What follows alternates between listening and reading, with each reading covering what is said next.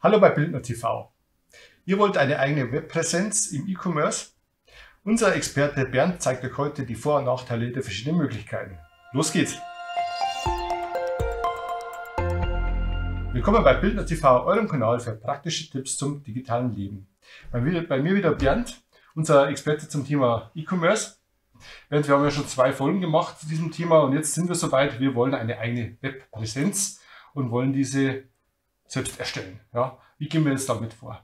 Ja, hallo Christian, heute wird es konkret. Das heißt, wir haben uns entschlossen, wir bauen eine Webpräsenz auf und wir wollen es möglichst stressfrei machen. Und soll ja nicht ein halbes Jahr dauern, wir wollen wirklich schnell irgendwo einsteigen. Mhm. Und da fangen wir mal beim untersten Level an. Das ist so eine eigene Webpräsenz mit einem Cloud-Service. Ich erkläre da mal so kurz die verschiedenen Levels, die es in Ihnen für eine Webpräsenz gibt. Fangen wir mal hier an bei einem Website-Baukasten in der Cloud. Was heißt das? Also ein Website-Baukasten heißt, ich muss da nichts runterladen, ich muss da keine komplizierten Programme lernen, sondern ich kriege im Grunde genommen ein schlüsselfertiges Angebot von einem Dienstleister, der sagt, ich biete dir an www.meinshop irgendwas.de, das suche ich mir raus, dem Dienstleister gebe ich ein paar Euro pro Monat und dann habe ich einfach ein schlüsselfertiges System, wo ich dann sagen kann, hier kann ich so mich ein bisschen präsentieren. Mhm. Kosten ungefähr für sowas? Ja, kommt so auf den Anbieter an. Also gängige Anbieter sind so, was gibt's da so, Jimdo, Wix, das sind so Baukastenanbieter und die liegen so um die fünf bis zehn Euro pro Monat okay. ungefähr. Je nachdem, welche Funktion ich haben will, kostet es ein bisschen weniger oder mehr. Ne?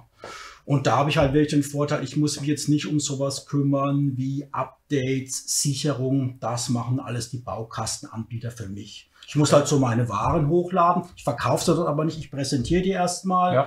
Shop geht auch, aber das muss ich dann auch wieder mit Zusatzfunktionen bezahlen. Also diese Baukästen sind erstmal super gut, um zu sagen, hey, ich habe jetzt nur einen Nachmittag Zeit, ich will mal anfangen, ich mache das auf die Schnelle. Also da ist das so dieses Level 1 Baukastensystem einfach das, wo ich sage, da komme ich recht schnell voran.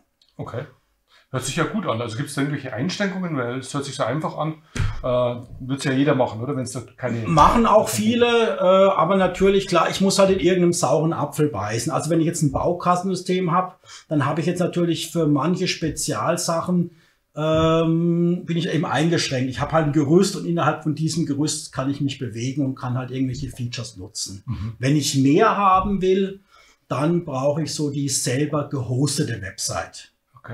Was sind denn das für Einschränkungen konkret, wenn jemand an sowas Interesse hat, wenn er sagt, okay, äh, wäre jetzt für mich interessant, aber Einschränkungen heißt ja, vieles. Ja, was, was vieles, zum Beispiel die technische Einschränkung. Also wenn ich jetzt selber eine Website hoste, dann gehe ich zu so einem Hosting-Anbieter und sage, ich gebe dir Geld dafür und bekomme dafür noch nicht die fertige Website, sondern so einen Webspace nennt sich das, einen Platz, wo ich meine Website hochlade. Mhm. So ein Bauplatz. Ein Bauplatz, genau. Und da habe ich auch mehr Möglichkeiten, zum Beispiel, was die Geschwindigkeit von der Website angeht. Mhm. Also die Geschwindigkeit von der Website ist ja schon wichtig. Der User will nicht warten, bis sich die Website aufgebaut hat. Und die Suchmaschine will auch nicht warten. Also eine Website, die so ein bisschen dauert, bis sich aufgebaut hat ähm, ja, rankt dann in den Suchergebnissen bei Google etwas weiter unten.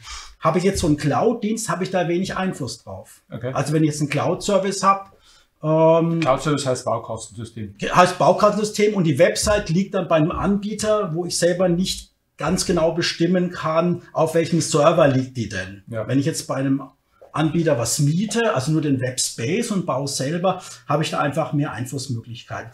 Ich gehe jetzt hier auch mal so in der Folie weiter. Das war jetzt nochmal so der Vergleich. Website-Baukast in der Cloud. Ich muss mich wenig um Technik kümmern. Ja. Ich komme sehr schnell voran. Aber ich bin zum Beispiel, was die Ladezeit der Website angeht, so ein bisschen eingeschränkt, das selber zu bestimmen. Okay. Im Gegensatz dazu eigene Website bei einem Hoster. Ich miete einen Webspace, kann dann eben auch sagen, ich nehme so einen günstigen Webspace oder einen teuren Webspace, baue mir das selber auf und habe dann eben auch mehr Möglichkeiten, was so Ladezeiten angeht, zu sagen, ich optimiere das nochmal so, dass die Website wirklich ganz schnell auch geladen wird.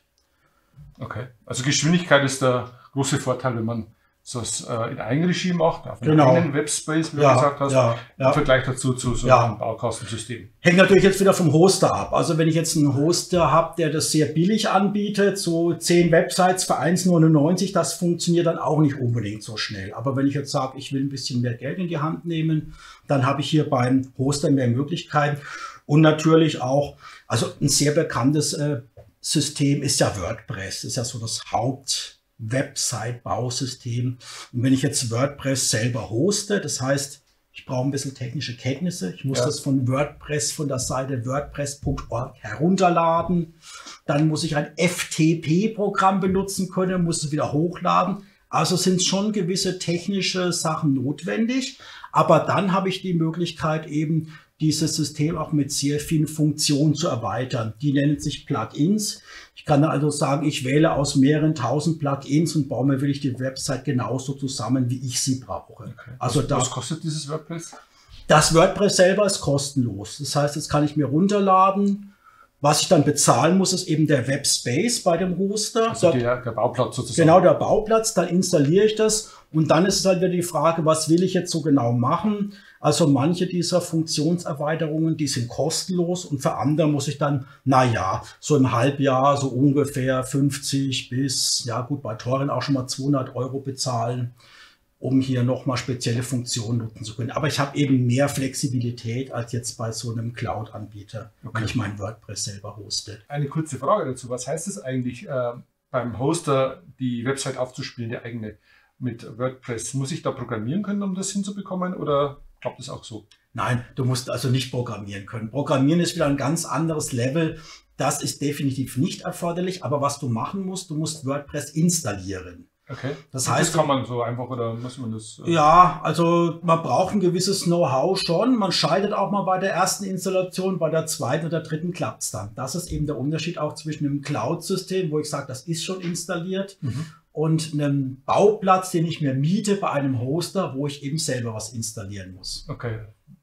Dann sollte das ja auch in jeder hinbekommen, wenn ein bisschen, bisschen äh, Interesse an dem Thema hat. Mit etwas Hilfe und Interesse und beim dritten Mal klappt es dann. Übrigens, wenn ihr ein bisschen mehr zu diesem Thema wissen wollt, über die Grundlagen des E-Commerce, wie man richtig einsteigt und so weiter, dann werft doch mal einen Blick auf das Buch von Bernd Schmidt bei uns im Webshop E-Commerce So geht's. Und äh, wer dieses Buch gewinnen möchte, der kann das ganz einfach machen, indem er einen Kommentar bei unseren Videos hinterlässt. Dann nimmt er automatisch an der wöchentlichen Verlosung teil und er kann sich ein Buch aus unserem Verlagsprogramm kostenlos aussuchen. Ja, Bernd, Level 3, wie geht's weiter? Wenn ich mich jetzt entschlossen habe, ich möchte eine eigene Website, entweder als Baukasten oder mit WordPress, äh, ich möchte aber vielleicht doch ein Stück weiter gehen und auch einen eigenen Online-Shop haben. Was kann ich da machen? Auch was verkaufen. Okay, dann schauen wir jetzt mal hier das Level Nummer 3 an. Also wir hatten hier Website in der Cloud, dann hatten wir Website beim Hoster und der Level 3, das wäre jetzt, wir haben eine eigene Website und haben an dieser Website noch so einen Cloud-Shop dran. Das heißt, der Shop ist nicht selber aufgebaut, sondern wie bei der Website auch, ich beziehe einen schlüsselfertigen Shop. Also wieder bei der Cloud-Website. Genau. Baukosten-Website. Genau. Also das ist jetzt zum Beispiel ziemlich bekannter Anbieter Shopify. Mhm. Da kann ich also sagen, ich muss jetzt den Shop nicht installieren, sondern ich habe zum Beispiel meine, Web meine Website mit WordPress aufgesetzt und habe dann zu dieser Website noch einen Shop dazu und dieser Shop liegt in der Cloud. Hat den Vorteil, ich bin mit meiner normalen Website relativ flexibel. Ich kann da auch sagen, ich baue da noch irgendwie einen Blog rein, wo ich ein bisschen was über mein Unternehmen erzähle. Und die Shop-Funktionen habe ich jetzt an den Cloud-Anbieter ausgelagert. Also das wäre so Level 3 der ganzen Geschichte. Okay. Level 3 von 4. Was muss man mit den äh, kostenmäßig rechnen dafür? Also das hängt jetzt wieder davon ab, welche Funktion ich dann nutzen will, jetzt von diesem Shopify-Anbieter. Also welche Zahlungsfunktion und welche so Zusatzfunktionen es auch gibt. Also da muss ich auch wieder so einen Rechenschieber ansetzen und sagen, was brauche ich da alles und je nachdem berechnet sich auch der monatliche Preis dann da. Okay, also WordPress und Shopify zum Beispiel als Cloud-basierter Shop oder Meet-Shop passen wunderbar zusammen, meinst du? Kann man machen. Also es hängt immer darauf ab, wie viel Know-how habe ich und wie weit will ich mich da so reinsteigern. Ja. Also wenn ich jetzt sage, ich bin so mit WordPress so relativ firm geworden, habe da vielleicht schon ein bisschen Erfahrung und will jetzt schnell einen Shop dazu machen, dann empfiehlt sich durchaus auch mal so auf eine Shopify-Lösung zuzugreifen. Kommt wahrscheinlich auch auf den Umfang des Sortiments an, oder? Ob ich jetzt einen so Mietshop nehme oder einen eigenen Shop. Nicht unbedingt. Also das ist das Schöne wieder am ganzen E-Commerce. Es lässt sich skalieren. Ah, also okay. sowohl mit einem Mietshop wie auch jetzt mit einem WooCommerce-Shop kommen wir noch drauf. Kann ich sagen, ich verkaufe jetzt fünf verschiedene Produkte oder tausend verschiedene Produkte. Also das ist relativ egal. Jetzt haben wir es schon ein bisschen vorweggenommen, ja. was das Level 4 ist. Okay, Level 4 ist dann, ich betreibe alles in Eigenregie. Ich habe also eine eigene Website. Meistens mache ich die mit WordPress und baue dann in diese Website noch ein WooCommerce ein. Das ist also eine Funktionserweiterung von WordPress und habe dann unter einem Dach meine WordPress-Website und meinen WooCommerce-Shop. Also das wäre dann so der, der Level 4. Bin also maximal flexibel. Allerdings, ich muss mich schon ein bisschen auch mit Technik auseinandersetzen. Also ich muss das technisch pflegen, Updates und Sicherungen machen. Wenn ich das nicht kann, sollte ich dann auch vielleicht auf eine Agentur zurückgreifen, die das so für mich erledigt. Ne? Das muss ich halt so wissen, wo ist so mein, meine Zeit und mein Know-how bei dem Ganzen. Okay. Warum muss man das immer wieder updaten? Was ist der Grund dafür? Ja, die Welt ist böse. Also wenn du jetzt so ein System hast, egal ob jetzt irgendwie äh, WordPress oder WooCommerce, es versuchen also an, andauernd Leute das System zu hacken. Ist gar nicht persönlich gemeint, das sind halt solche Bots, die werden programmiert.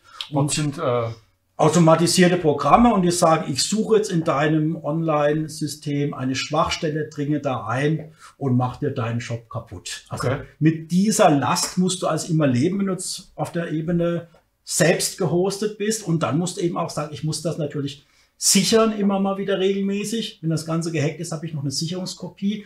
Und diese Updates sind wichtig, weil ähm, das ist also so, man findet eine Sicherheitslücke, weil irgend so ein Bot da eingedrungen ist oder noch nicht.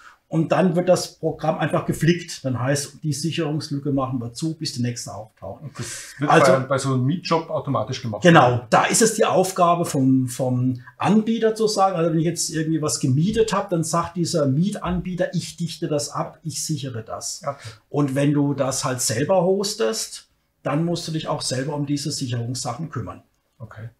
Also kurz zusammengefasst, man hat mehr Möglichkeiten, wenn man alles in Eigenregie betreibt aber man hat auch mehr Pflichten. Das heißt, man ja. muss sich auch dann um die Updates und Richtig. so kümmern. Wie es halt im Leben so ist, in einen sauren Apfel musst du beißen. Okay. Wenn man jetzt einsteigen will in dieses Thema mit Level 1 bis 4, man kann ja wahrscheinlich einfach wechseln, oder? oder was ist dein Tipp, wenn man hier loslegen möchte? Also mein Tipp auf jeden Fall im unteren Level anfangen, aber dabei auch die Tücken kennen, denn ähm, gerade diese Baukassensysteme kannst du nicht so einfach exportieren und dann auf einem anderen Level übertragen. Das heißt, du musst wieder von neu anfangen. Ach so, okay. Also dann wirklich anfangen und sagen, ich probiere das mal mit einem Baukassensystem aus. Bin ich damit zufrieden? Kann ich auch dabei bleiben? Aber ich muss mal überlegen, wenn ich jetzt sage mal einen Shop aufbaue mit 200 Produkten im Sortiment, vielleicht probiere ich die unteren Level erstmal so mit fünf bis zehn Produkten aus und steige dann auf einen höheren Level ein, baue es neu und füge dann erst sämtliche Inhalte und sämtliche Produkte ein. Also es ist eher eine Sackgasse, so ein äh, Mietshop. Ja, äh, ja ist ja. nicht so flexibel. Man kann es geht einiges, aber es ist auch wieder mit sehr viel Arbeit verbunden. Also hier muss man auch wieder genau gucken. Natürlich sind diese Shop-Anbieter darauf bedacht, also die Baukastenanbieter, dass du bei dem Baukasten bleibst. Mhm. Und es gibt es also keinen einheitlichen Standard, wo ich sagen kann, ich habe jetzt hier ein Baukastensystem und das ziehe ich mir runter und baue es dann wieder auf einem eigenen Webspace auf. Also das funktioniert nicht so ohne Kopfschmerzen. Okay. Ja, Danke für die Tipps, Bernd. Wenn ihr weiter dabei bleiben wollt bei unserer Serie E-Commerce So geht's, dann abonniert unseren Kanal, aktiviert die Glocke, dann werdet ihr automatisch erinnert, wenn das nächste Video wieder online ist.